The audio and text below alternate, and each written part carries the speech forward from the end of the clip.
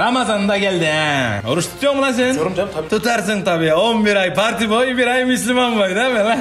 Yani ya. tutmuyorum aslında da. Lan oğlum zaten 11 ayda bir geliyor lan. Bir ay tutsan ölür müsün? Ateist. Tutmaz ya. Tutar mı hiç? Trafiğe gidiyor mu lan sen? Diyorum ya, ya gideceğim yani. Oğlum terafik dediğin namaz vacip. Yani kılsan da olur kılmasan da. Sen farz namazları kılmıyorsun gidip vacip namazı kılıyorsun mal. İyi tamam ya kılmayız Allah Allah. Lan oğlum zaten 11 ay boyunca namaz denen bir şeyi kılmıyorsun. Bir ay boyunca teravih namazı kılsan ölür müsün lan? Siyonist it seni. ya. Gitmez ya gider mi hiç? Fakire fukaraya yardım ettin mi? Ettim ya 200 liralık Ramazan paketi hazırlattım. Bir elin verdiğini diğer el görmez derler lan. Gelmişsin burada havasının çakasını at. Bir kase yem alaydın lan o çok olmuş. Oğlum güvercin mi besliyorsun lan? 200 lira ne pinti herif. Aha ezan okundu.